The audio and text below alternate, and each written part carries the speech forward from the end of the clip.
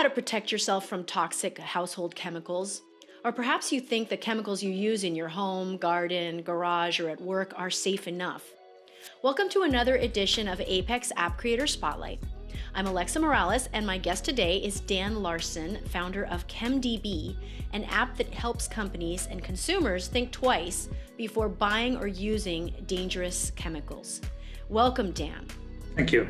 Give me a short description of what your application does.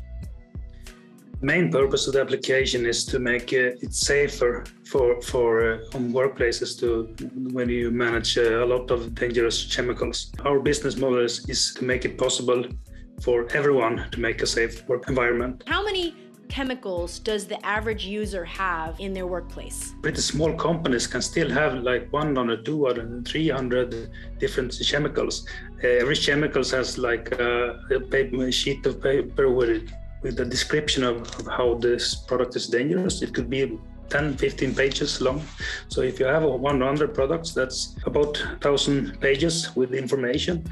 And without having some kind of system to see this, you have uh, it's impossible to have the uh, overview. Can you describe the technology stack that you're using for the app, the data, the APIs, or any third party components? Yeah, it's built 100% in Oracle database with the help of Oracle Apex.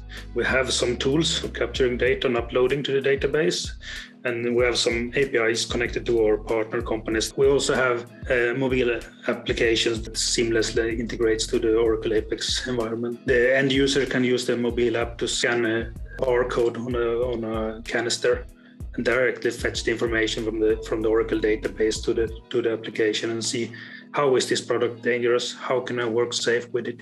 What kind of legislation do we have to think about? I was going to ask you exactly about that because I saw on the Android app you have the barcode symbol right there, so it's very obvious that you can use it to scan. You've focused a lot on business. Do you see a possibility for consumers to use this more? Our goal is to deliver the information wherever it's needed. Uh, we don't lock the information and sell access to it. How many users do you have? Uh, today in Kemdb, we have about 850 companies using. What results have you achieved with the app? We have created a possibility for, for many companies that didn't have the possibility to create a safe work environment.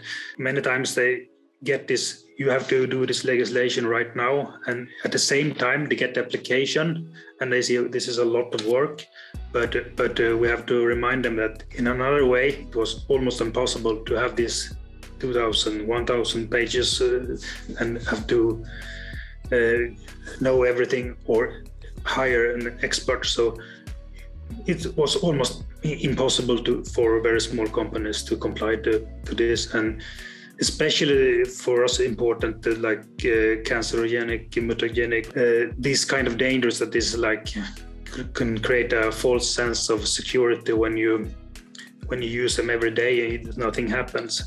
But uh, exactly, yeah. Everyone knows how to manage a fire hazard, uh, but uh, but these kind of dangers are, are much more sneaky. I love how how you're putting that. Here in California, they do a good job of labeling things and saying something is carcinogenic, like you said, but they don't label all the other things, right? So, so what else should we be? Cons- so you just said carcinogenic. That's one thing. What else should we be concerned about, just as consumers? What is mostly worrying for me is like um, levels that is accepted for for so, some things, but the problem is that you you can you cannot look at one chemicals and use it to say uh, this is so so small amount because you have maybe a thousand different chemicals from other uh, ways. Start finding more and more uh, chemicals that you didn't think was dangerous but especially for like pregnant women and stuff like this the kids get uh, affected. So i'm really proud that we can deliver information and what are your plans for the future of the application? In the close uh, time, we will add some more use for like transportation of these kind of products, uh, the regulation and the documentation for this, great documentation. Also, we will uh, do similar with the storage of uh, fire uh, hazardous uh, chemicals mm-hmm. because um, this uh, is uh, very much requested. It's different kind of legislation. So for, for me, I started with REACH chemical legislation, but many people see these things that yeah, but this is almost the same thing. It's but but uh, in real, it's completely different legislation. But, but we will add support for this also because that's what our customer needs. You just said REACH. REACH is the European chemical legislation. Ah. Name of this. So so that is the backbone of everything that's chemical legislation. But there are other kind of legislation like workplace environment legislation that is also chemicals.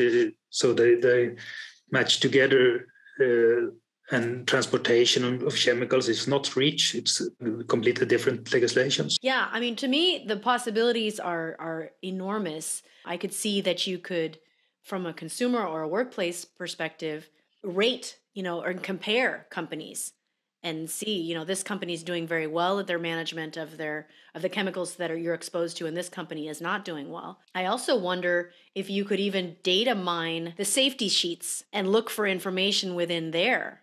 Do you ever do that? Do you look do you look at all what's inside those pdfs because i see you've got the pdfs linked in the database yeah, that is exactly what we are doing, mining for information. In this and then we know what kind of information that is the building blocks for, for the legislation, so we can match them against different kind of legislations, and, and so that's exactly what we are doing. And also we provide, uh, of course, the safety data sheet uh, as information also, but and uh, try to do it in a smart way. So uh, we don't we need to do the uh, administration because uh, previous workplace I was in we had like many thousand chemicals and we did a lot of work and seeing how this is dangerous and categorizing and updating safety data sheet.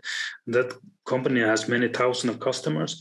So for me, it's very simple that if if they do this administration exactly the same thing we are doing, they everyone needs to do exactly the same thing for each product.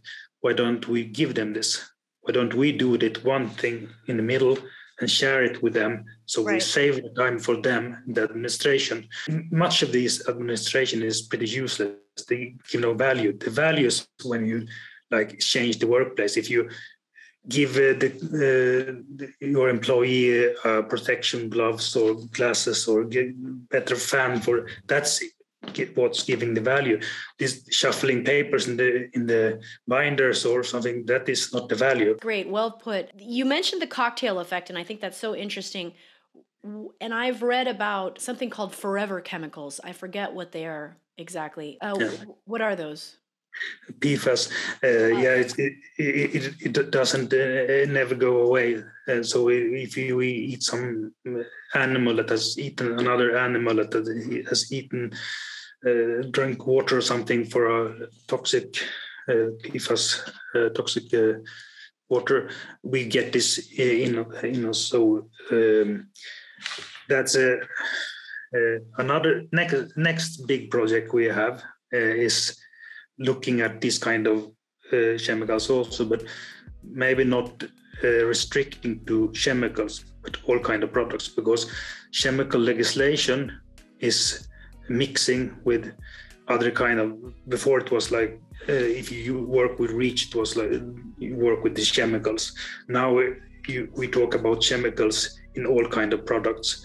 If if you, the bicycle is a, example in Europe. We talked a lot about how much is it, uh, many chemicals are in the handles, how much in the seat, and what is in the tires. So that's our next big step, and we have uh, just started this, and we have a lot of interest in this. Wow, that's great. Well, that is so inspiring. Is there anything that I didn't ask you about that you want to comment on, or? No, uh, I'm very, very happy to found, find uh, Oracle Apex because uh, for me, I, am not developer at all. Uh, I have learned, and it was very small uh, threshold to start learning, to start creating, and uh, nothing of this was possible without uh, now i have a company i employ people and i have um, completely different uh, life So I'm very grateful for Oracle Apex, and I have tried, I think, 10 or 11 similar tools before. So I will stick with this. Wonderful. Well, that's great. Well, thank you, Dan, so much for joining me on our App Creator Spotlight, and best of luck for Kemdb. Thank you very much.